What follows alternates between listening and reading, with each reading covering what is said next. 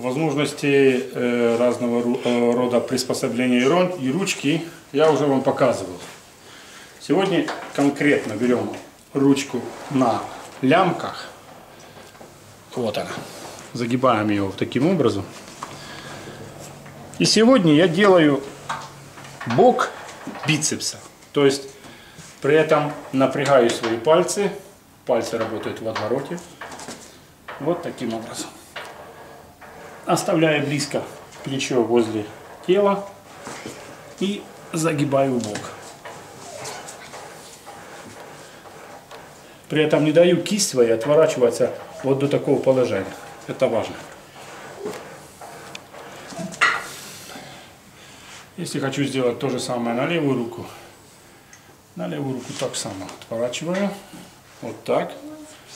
И стоит это делать вот таким образом. Вот буквально вот так.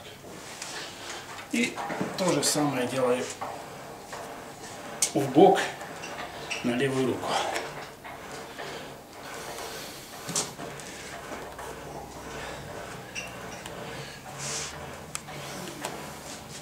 После тренировки кисти на гантеле и бицепса, которого я сегодня сделал, э, упражнение, которое я сейчас выполняю, дает мне э, связать, возможно связать несколько огнив в одной большой цепи. То есть то, что мы говорили в моих предыдущих тренировках, первых э, фильмах.